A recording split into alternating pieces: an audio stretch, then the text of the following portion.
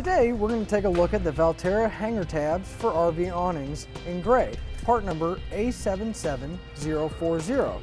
They're also available in black, part number A77041, and also in white, part number A77045.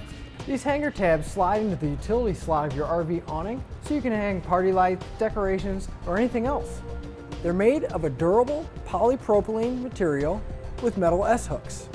You get seven hangers, and as you can see, that's plenty for our 16 foot awning. Now that we've gone over some features, we'll go ahead and show you how to use them. They're designed to slide right into your accessory track on your RV awning. We'll go ahead and slide them in and space them out evenly. Now we can take our S-hooks and put them in place. Now we're all set to hang any party lights or any other accessories from our awning.